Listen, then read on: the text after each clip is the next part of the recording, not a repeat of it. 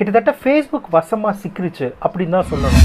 பல நாடுகளில் இருக்கிற அந்த சர்வாதிகார அதிபர்கள் வந்து தொடர்ந்து மக்களை ஏமாற்றுவதற்கு வந்து ஃபேஸ்புக் வந்து பயன்படுத்திக்கிறாங்க. யாராவது இண்டிபெண்ட் ஜேர்னலிஸ்ட் வந்து ஒரு அவங்களை எதிர்த்து ஒரு ஆர்டிக்கல் போட்டால் அவங்கள வந்து கோஆர்டினேட்டடாக போய் டேக் டவுன் பண்ணுறது அந்த ஆர்டிக்கலை ரிப்போர்ட் பண்ணி காலி பண்ணுறது அவங்க அந்த ஜேர்னலிஸ்ட் ஹராஸ் பண்ணுறது இந்த வேலையை வந்து உலக நாடுகள் முழுக்க பண்ணுறாங்க யாரை டவுன் பண்ணோம் அப்படிங்கிற தகவலை வந்து வெளியே சொல்லவே கிடையாது.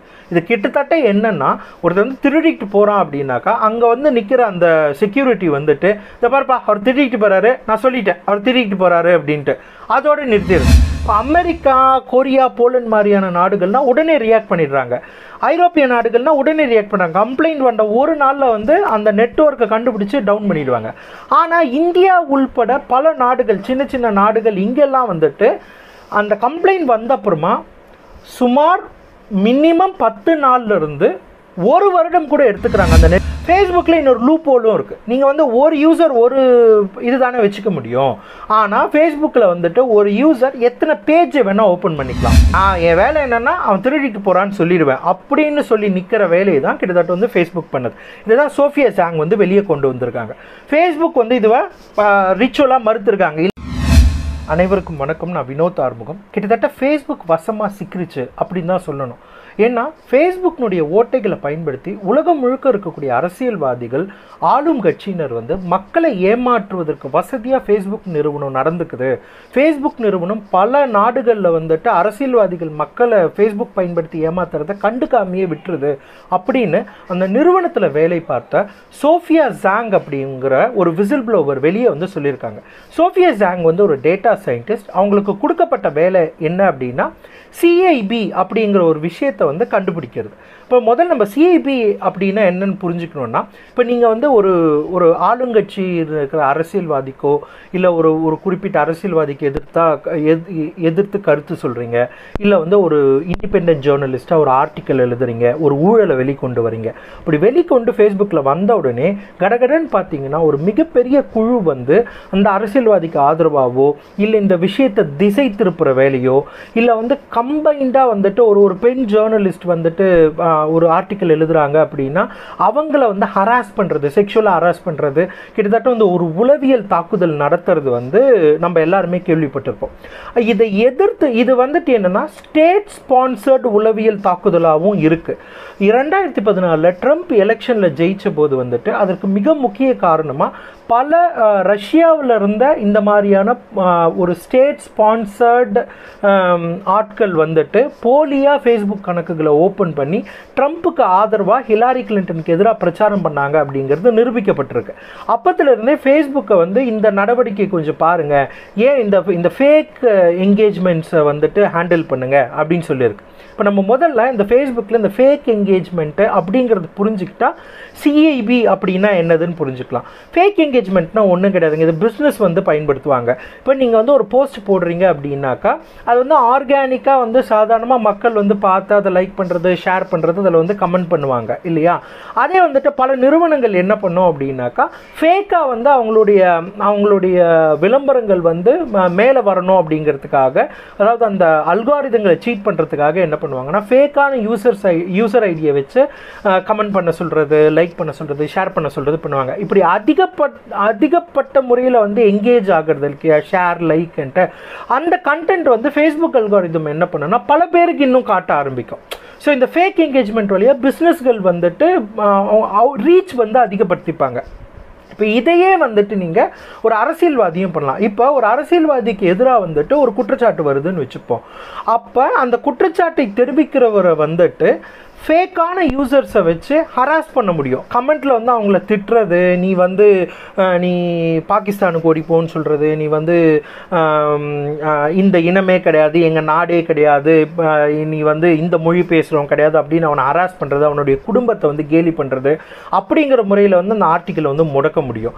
இன்னொரு விதமாக வந்துட்டு அதுக்கு வந்து ஃபேக்கான ரியாக்ஷன்ஸ் கொடுக்கறது மூலியமாகவும் வந்துட்டு ஃபேக்காக ரிப்போர்ட் பண்ணுறது மூலிமா அந்த ஆர்டிக்கலை முடக்க முடியும். இன்னொரு பக்கம் இதே மாதிரி ஒரு ஃபேக் யூசர்ஸ் எல்லாருமே சேர்ந்து நடக்கிற விஷயத்தை வந்து திசை திருப்ப முடியும். ஸோ இதை வந்துட்டு சிஐபி அப்படின்னு சொல்லுவாங்க. அதாவது கோஆர்டினேட்டட் இன் அத்தன்டிகேட்டட் பிஹேவியர் அதாவது பொதுவாக மக்கள் ஃபேஸ்புக் யூசர்ஸ் வந்து நேர்மையாக தங்கள் கருத்தை சொல்கிறதும் ஷேர் பண்ணுறதும் லைக் பண்ணி என்கேஜ் பண்ணுறதுக்கு ஆப்போசிட்டாக ஒரு குறிப்பிட்ட நிறுவனம் அல்லது ஒரு குறிப்பிட்ட கட்சியை சார்ந்த நபர்கள் அவங்களுக்குள்ள ஃபேக் யூசர் ஐடிஸை க்ரியேட் பண்ணி என்கேஜ் பண்ணி அந்த ஃபேஸ்புக்கில் இருக்கக்கூடிய கண்டென்ட்டுகளை வந்துட்டு செயலிழக்க செய்கிறது இல்லை அந்த யூசர்ஸ் வந்து ஹராஸ் பண்ணுறது இதுவாக கோஆர்டினேட்டட் இன் அத்தன்டிகேட்டட் பிஹேவியர் இதை வந்து ரஷ்யாவில் ரஷ்யாவை சேர்ந்தவர்கள் செஞ்சு தான் ரெண்டாயிரத்தி பதினாலு ட்ரம்ப்புக்கு ஆதரவாக போச்சு அப்படிங்கிற நிரூபணங்கள் இருக்குது இப்போ உலக நாடுகள் முழுக்க இருக்கக்கூடிய ஆளும் கட்சியினர் அதிபர்கள் அரசியல்வாதிகள்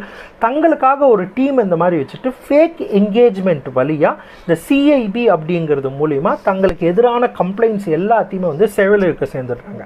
சரி இதற்கு வந்து ஃபேஸ்புக் அப்படிங்கிற நிறுவனம் வந்து அந்த பிளாட்ஃபார்ம் அப்படிங்கிற முறையில் சில பொறுப்பு எடுத்துக்கணும். ஏன்னா வந்து ஒரு ஒரு பிளாட்ஃபார்மில் வந்துட்டு தொடர்ந்து ஒரு ஜனநாயகத்துக்கு எதிரான விஷயங்கள் நடக்கும்போது அந்த நிறுவனம் வந்து அதுக்கு பொறுப்பு எடுத்துக்கணும். அவங்க என்ன சொன்னாங்கன்னா அமெரிக்க தேர்தலில் இந்த சிக்கல் வந்த அப்புறமா இல்லை நாங்கள் வந்து எப்படியாவது கோஆர்டினேட்டட் இந்த இன்அத்தென்டிகேட்டட் பிஹேவியரை கண்டுபிடிச்சு நாங்கள் அந்த நெட்ஒர்க்ஸ்லாம் டவுன் பண்ணுறோம் அப்படின்னு சொல்லி பொறுப்பு எடுத்துக்கிட்டாங்க. இப்போ ரெண்டாவது வந்துட்டு அவங்க என்ன சொன்னாங்கன்னா இந்த மாதிரி தவறானவர்கள் இருந்ததுன்னா நீங்கள் கம்ப்ளைண்ட் பண்ணுங்கள் அப்படின்னாங்க. பாலிசிலாம் நிறைய அப்டேட் பண்ணாங்க. ஒரு நபர் ஒரு ஃபேஸ்புக் ஐடி தான் வச்சுக்க முடியும். அதுக்காக ஃபோன் நம்பர் செக் பண்ணுறது அந்த மாதிரியான அப்டேட்ஸ் எல்லாத்தையும் பண்ணாங்க.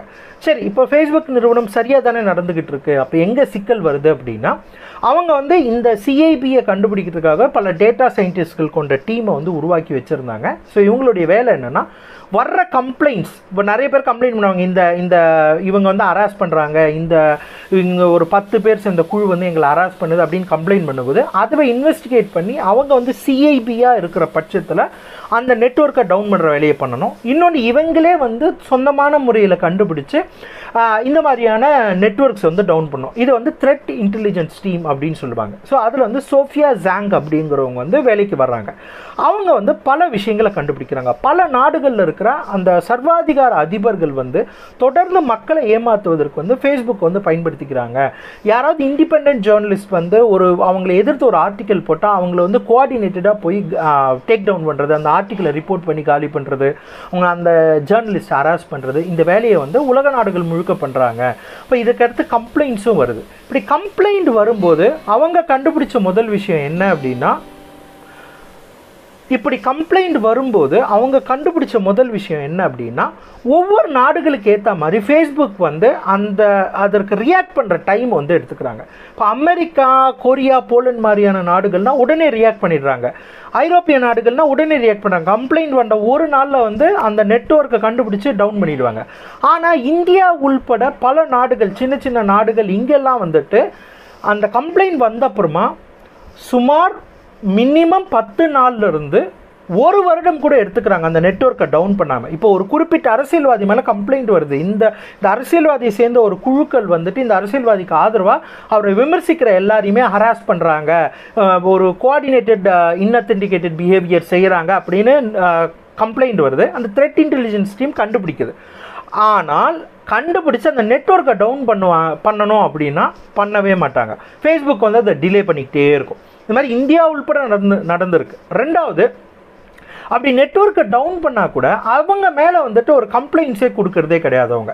நெட்வொர்க்கை டவுன் பண்ணதோட மறைச்சிடுறாங்க. உதாரணத்துக்கு இந்தியாவில் நாலாயிரம் பேர் சேர்ந்த ஒரு நெட்வொர்க்கை வந்து ஃபேஸ்புக் இந்த மாதிரி சிஐபி பண்ணாங்க. இந்த மாதிரி வந்து ஒன்றா சேர்ந்துக்கிட்டு வந்து ஒரு குறிப்பிட்ட ஜேர்னலிஸ்ட்டை வந்து ஹராஸ் பண்ணாங்க அப்படின்னு டவுன் பண்ணியிருக்கு. ஆனால் யாரை டவுன் பண்ணோம் அப்படிங்கிற தகவலை வந்து வெளியே சொல்லவே கிடையாது. இது கிட்டத்தட்ட என்னென்னா ஒருத்தர் வந்து திருடிட்டு போகிறான் அப்படின்னாக்கா அங்கே வந்து நிற்கிற அந்த செக்யூரிட்டி வந்துட்டு இந்த பாருப்பா அவர் திட்டிக்கிட்டு போகிறாரு நான் சொல்லிட்டேன் அவர் திட்டிக்கிட்டு போகிறாரு அப்படின்ட்டு. அதோடு நிறுத்திடுது செக்யூரிட்டி வேலை என்ன? திருட்டு தடுக்கணும் இல்லை திருடனை பிடிக்கணும் இல்லையா? அப்போ இல்லை போலீஸ் கம்ப்ளைண்ட் கொடுக்கணும் இல்லையா? இதெல்லாம் எதுவுமே பண்ண மாட்டேன். நான் என் வேலை என்னென்னா அவன் திருடிட்டு போகிறான்னு சொல்லிடுவேன். அப்படின்னு சொல்லி நிற்கிற வேலையை தான் கிட்டத்தட்ட வந்து ஃபேஸ்புக் பண்ணது. இதுதான் சோஃபியா சாங் வந்து வெளியே கொண்டு வந்திருக்காங்க.